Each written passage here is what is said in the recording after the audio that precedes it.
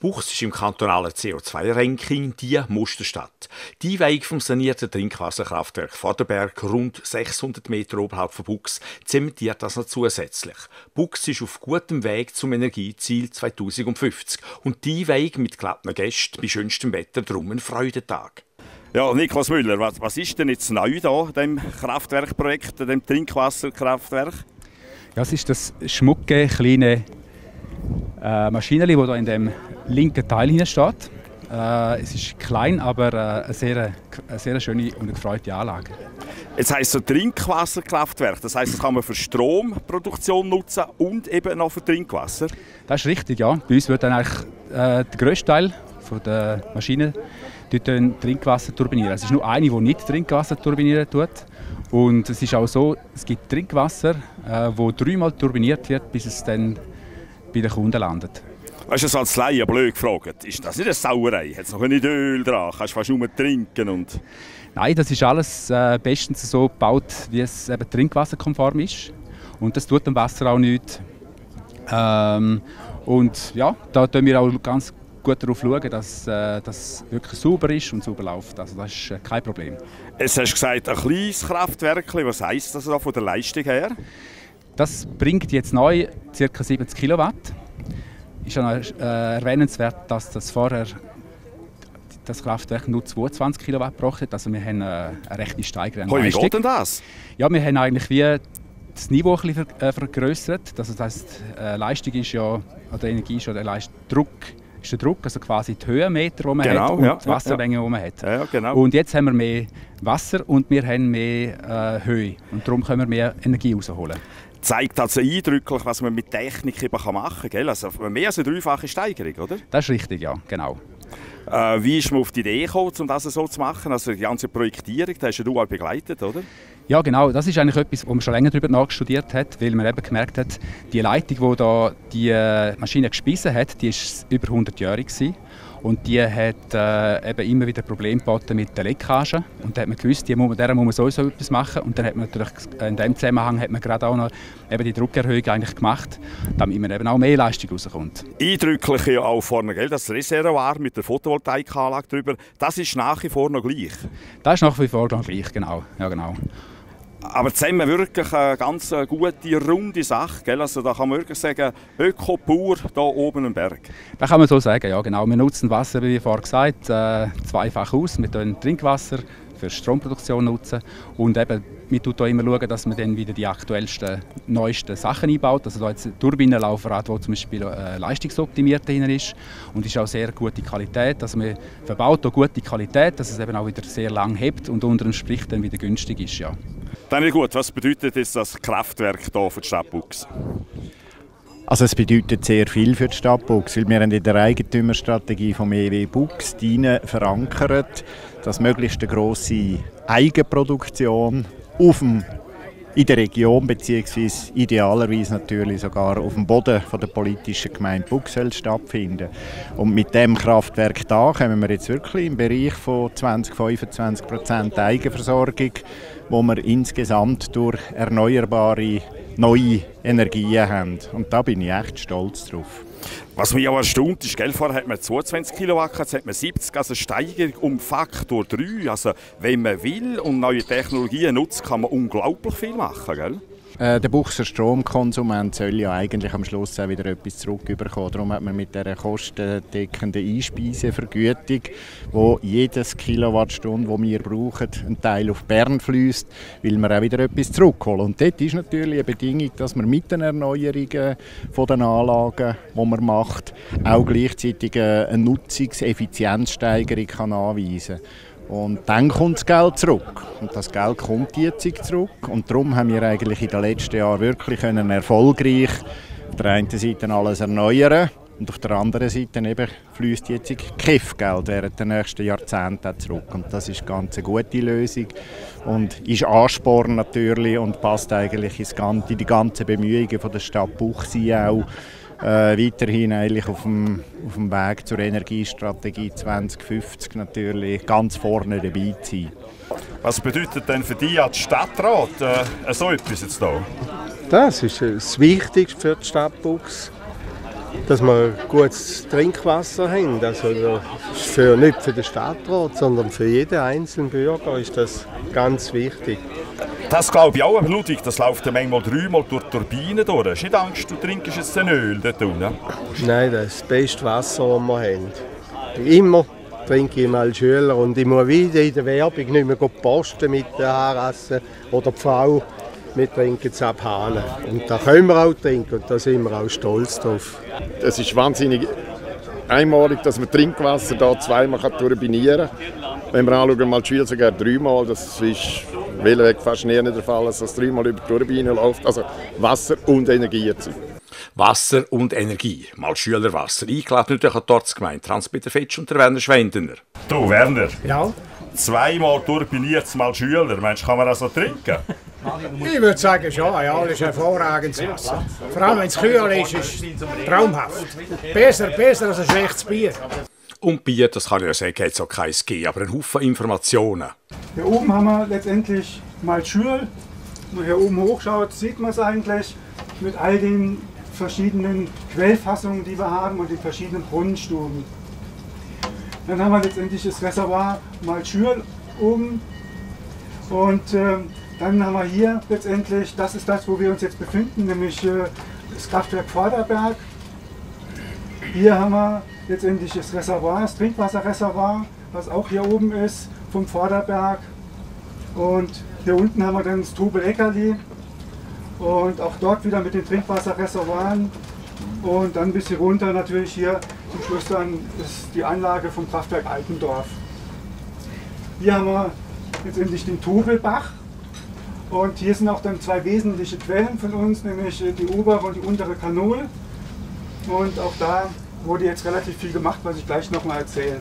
Mit der Erneuerung vom Trinkwasserkraftwerk Vorderberg hier leisten wir einen wesentlichen Beitrag auch für die Energiestrategie 2050, die klar letztendlich vorsieht, dass dezentrale Energieerzeugung hm, aus erneuerbaren Energiequellen halt erzeugt wird. Und, äh, und da sind wir froh eigentlich, dass wir einen wesentlichen Beitrag dazu leisten können mit der Sanierung oder Erneuerung des Trinkwasserkraftwerks.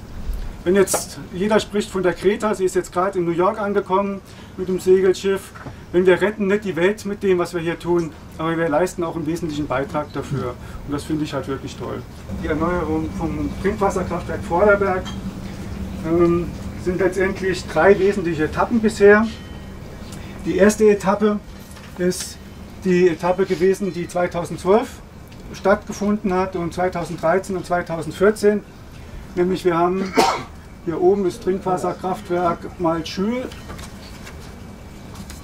erneuert und wir haben letztendlich das Trinkwasserkraftwerk Tobel-Eckerli äh, erneuert. 2017 war ja dann auch, als ich letztendlich nach Bux gekommen bin und die Position des Direktors von EG Bux einnehmen durfte. Und das Erste, was ich gelernt habe, Markus, wir werden eine Quelle neu fassen. Ich sagte, ja, okay, gut.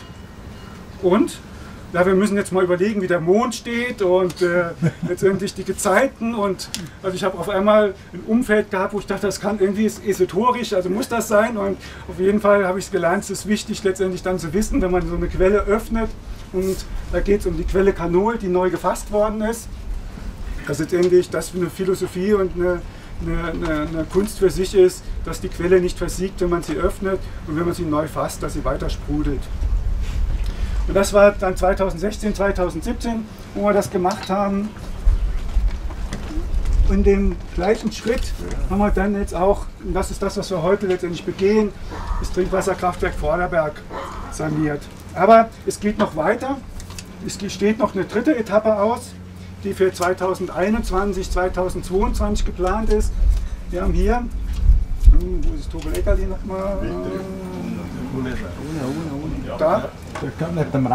Also wir haben hier letztendlich, wir haben hier insgesamt drei Trinkwasserreservoirs und eins davon wollen wir letztendlich erneuern und vergrößern. Und das ist etwas, was für 2021, 2022 vorgesehen ist.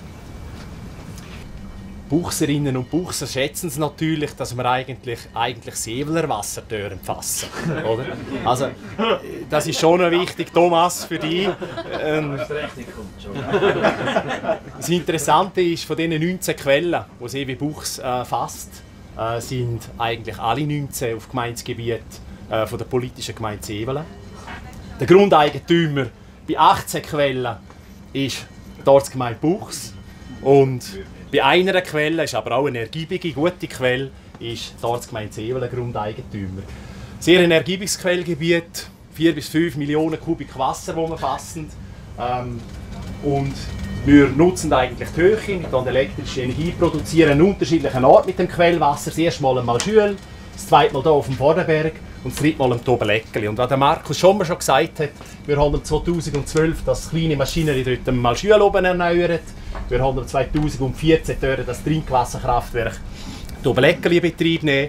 Und heute dürfen wir eigentlich äh, die äh, zwei Clinch-Maschinen einweihen. Das Trinkwasserkraftwerk Vorderberg, hier Anlage Doppel. Wieso sagen wir Anlage Doppel? Weil Anlage Doppel, wir haben an dem Standort zwei Trinkwasserkraftwerke.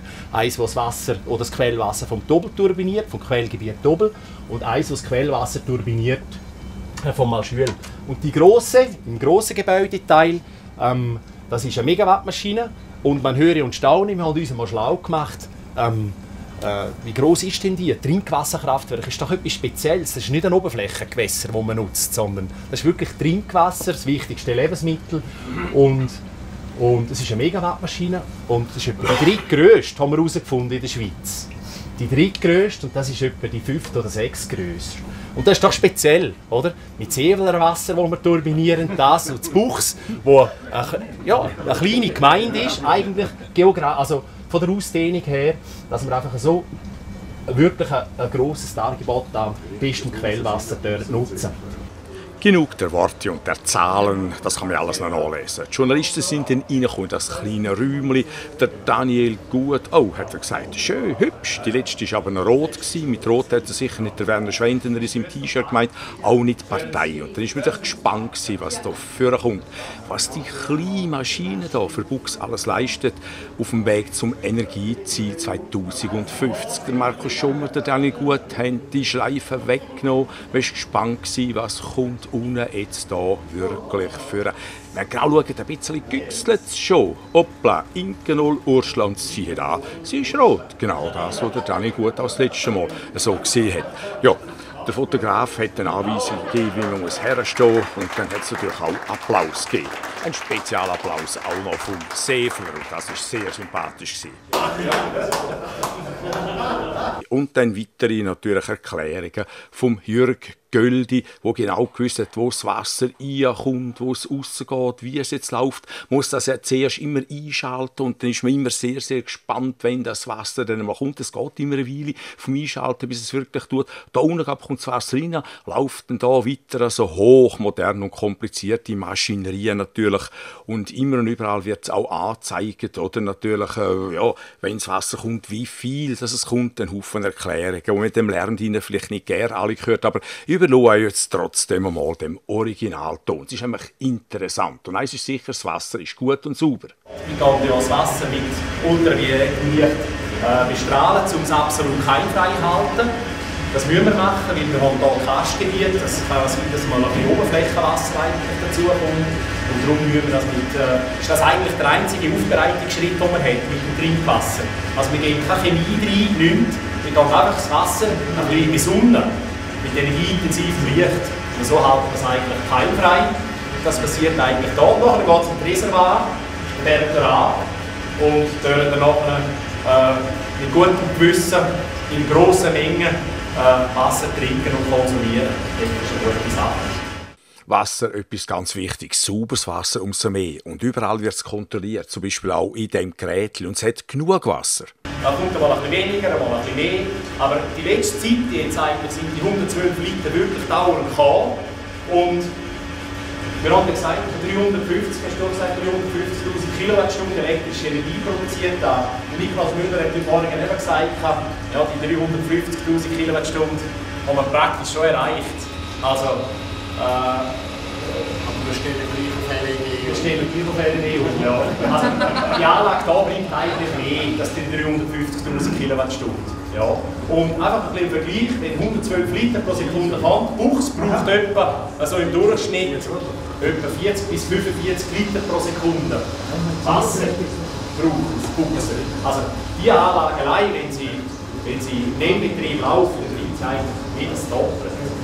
Viel Strom, viel Wasser und darum hat man natürlich auch mit Wasser nicht mit Wein angestoßen. Und Wasser vereint Buchsensevelen. Zum Wohl. Eben, wir danken vielmals für Seveler Wasser. Ja, ja, ja. ich sehe, die Buchser haben hier eine gute Sache gemacht, aber wirklich dank der Seveler kann jetzt Buchser profitieren von dem, was sie hier gebaut haben. Aber ich denke, es ist eine gute Sache.